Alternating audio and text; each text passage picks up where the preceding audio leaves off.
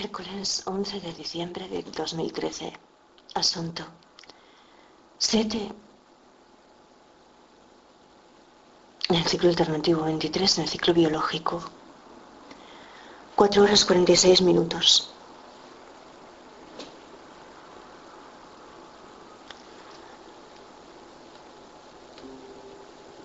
A la mitad de enero el vasco se empeñó en viajar. Trabajaba en una agencia de viajes y conocía el mal humor de las ocas del parque. Había estado en esta ciudad en algunas ocasiones y me convenció para que pasáramos aquel fin de semana juntos, con el argumento de que solo nos veríamos para tomarnos juntos un café. Y si a mí él en persona no me convencía, seguro que se sentía de sí mismo, no existiría ningún problema. Y yo podría irme tal como nos habíamos encontrado. Parecía tan sencillo que a eso me sentí obligada a decirle que sí. Pero aquella madrugada sufriré una pesadilla, cuando casi nunca sufro pesadillas. En ese sueño, Laura y yo, aterrorizadas, escapábamos de un desconocido que nos perseguía a través de la noche más oscura y por un descampado. Eran las tres de la mañana y estuve a punto de abortar esa realidad Podía haberlo hecho enviando un mensaje de texto desde el teléfono, pero no lo hice. Porque la advertencia que entonces presentí que lo era, no logró tirar de mí con la suficiente inequivocidad. Y de hecho voy a recordar todavía muchos años. Y de hecho voy a necesitar todavía muchos años. De hecho voy a necesitar todavía muchos años. Hasta Castrillo de los Polvazares, y Antonio el ermitaño en el viaje por el camino francés en el 2010 para empezar a creer en mí y en la fuerza de mis convicciones tácitas. Porque no es que yo, esas intuiciones que en un momento dado hasta logran salvarte la vida, no las haya tenido desde siempre, sino que en parte la dinámica del desamparo aprendido les ha perjudicado, o bien las corrompe la parte de mí en la que me parezco a todos nosotros, y aparto el instinto de conservación a un lado, y aparto el instinto de conservación a un lado. La parte de mí en la que me parezco a todos nosotros, el cerebro social. O bien las corrompe la parte de mí en la que me parezco a todos nosotros, el cerebro social, y aparto el instinto de conservación a un lado. Y ya, desde el primer momento, la experiencia es desagradable porque este hombre tiene un mar por boca, y al verme, donde el estanque de los patos, donde me había quedado yo mismamente hablando con una madre de familia de las que siempre estaba acompañando a sus hijas en la actividad de la natación sincronizada, me levanta en sus brazos por los aires y me introduce la lengua hasta el exófago, poniéndome perdida de saliva que no hay cosa que yo más deteste, pero como soy tan abierta de perro, soy tan abierta de mente, en el fondo soy tan lógica, me recomiendo ser un poco flexible. Y acabamos comiendo en Pravia. Y él hablándome de lo que llamaba el envoltorio todos esos minutos y palabras previas al asunto en cuestión, que era el sexo.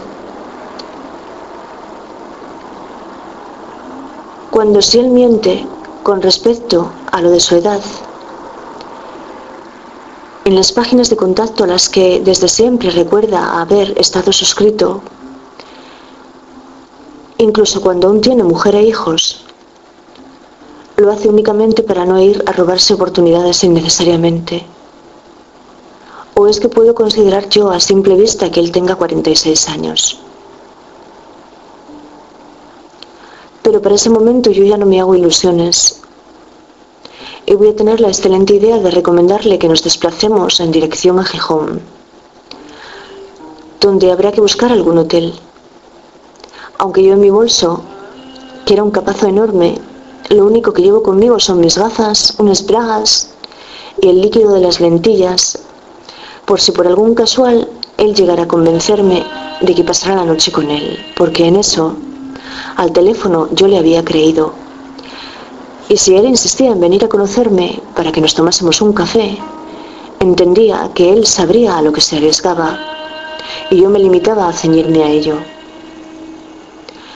Pero estamos buscando un hotel. Y de pronto él vio un parking, de esos que permanecen abiertos las 24 horas, que además se encuentra a cuatro pasos del Hotel París. Y se baja del coche. Y pregunta por el precio de la habitación y le parece aceptable. Y vuelve a subirse al coche y nos encaminamos al parking.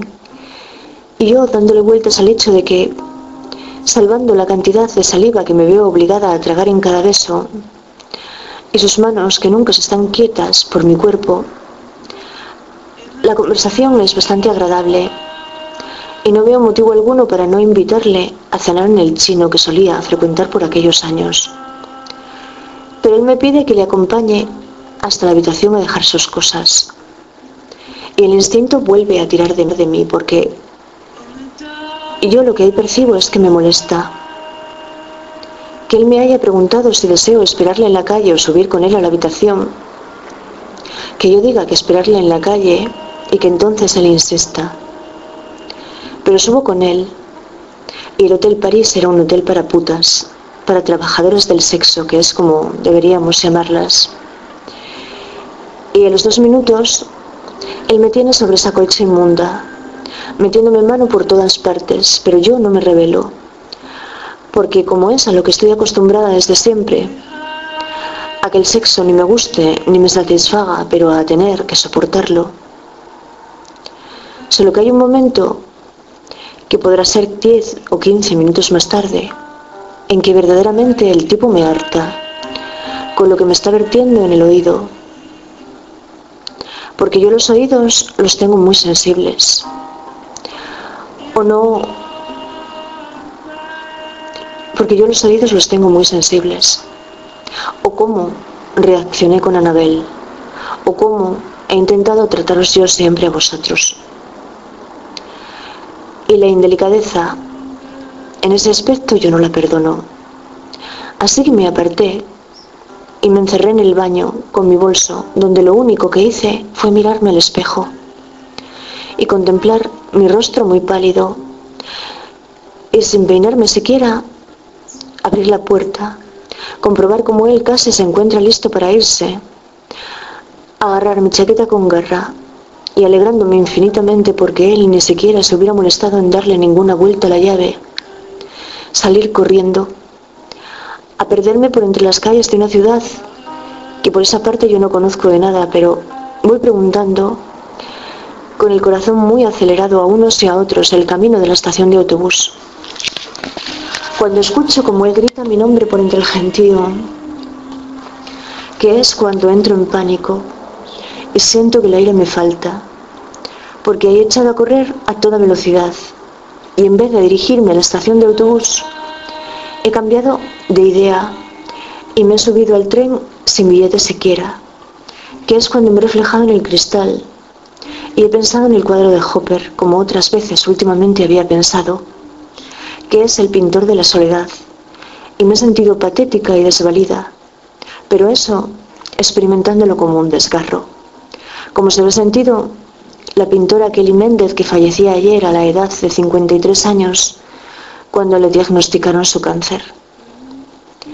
Porque yo ahí lo que contemplaba era la radiografía del mío, que si estaba en mi seno yo eso lo desconocía, pero que entonces era lo que yo llamaba cáncer del alma.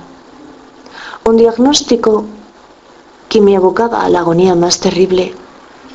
Que no entiendas, por favor, que ahora yo esta muerte la banalizo, porque lo que te describo es todo lo contrario. La conciencia de una enfermedad mortal que se propagaba por todo mi ser y para la que yo no conocía remedio alguno. Solo que hoy por hoy no la sufro. Y entonces tampoco parecía posible que yo fuera a dar con la cura. ¿Y qué cambiará ahí? ¿Será Luis Muiño el que empiece a cambiarlo? Y a mí a Max, que será esa la madrugada que no acepte que yo regrese sola a casa, después de pasar algunas horas de cálida alegría con él. Y me regresará a mi casa él conduciendo en albornoz por la ciudad. A lo que sentí que quería decirle que sí.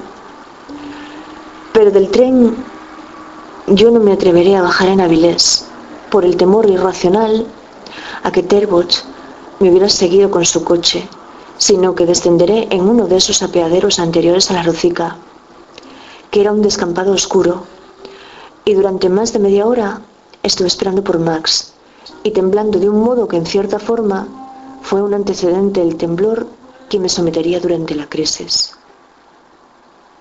Te deseo un buen día, querido profesor.